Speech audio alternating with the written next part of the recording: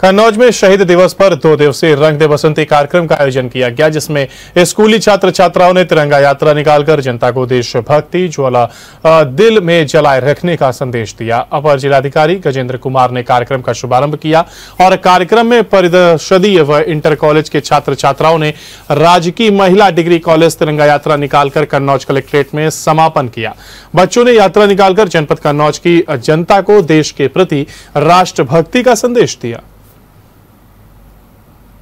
अमृत महोत्सव कार्यक्रम जो चल रहा है, उसी श्रृंखला के अंतर्गत ये दो दिवसीय रंगदे बसंती कार्यक्रम आयोजित किया गया था, जिसमें आज शहीद दिवस के अवसर पर यहाँ प्राथमिक विद्यालय और इंटर कॉलेज के बच्चों की तिरंगा यात्रा निकाली गई है और सभी बच्चों को संदेश, सभी बच्चों के माध्यम से जनपद कन्नौज के जनता को संदेश दिया गया है कि देशभक्ति की जो ज्वाला है और दिल में जगाए रखें और अपने राष्ट्र के प्रति समर्पित रहें।